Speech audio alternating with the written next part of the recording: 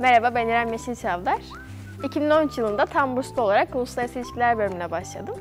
Bu yıl ikinci senemdeyim. Okulumda geçirdiğim iki yıldan biri hazırlıktı.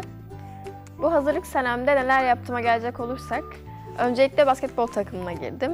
Bu yıl okulda birkaç arkadaşım eşliğinde frisbee takımımızı kurduk. Frisbee takımı kurulabilir mi, formaların rengi ne olur, hocalar ikna olur mu derken bir anda kendimizi Bilkent Üniversitesi'nde üniversite arası bir frisbee turnuvasında bulduk. Bu okula gelir gelmez yaptığım ilk işlerden biri dans kulübüne üye olmak oldu. Geçen sene yalnızca bir dansçı üyeyken bu sene yönetiminde yer aldım kulübün.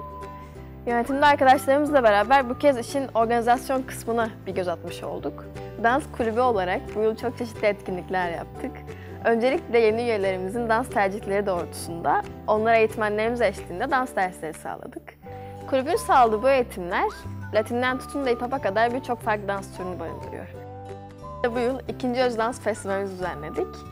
Bu yıl amacımız geçen seneki festivali bir adım daha öne taşımaktı. Bu doğrultuda çok sayıda farklı üniversitenin dans gruplarını aradık. Gün boyu dans workshoplarıyla keyifli vakit geçirirken akşam da açık havada bir dans şölenine tanık olduk hep beraber. Bu yıl ikincisini düzenlediğimiz bir diğer büyük etkinlik ise üniversiteler arası salsa yarışması oldu.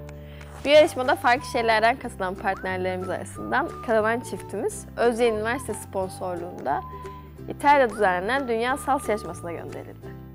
Bu okulda akademik olanakların yanında sosyal başarılarına takdir edilmesi hoşuma gidiyor. Örneğin geçen ay rektörümüz Esra Hoca eşliğinde bir tekne turuna davet edildik. Tüm sporcular olarak senenin tüm yorgunluğunu atarken okula olan aidiyetlik duygumun arttığını da hissettim.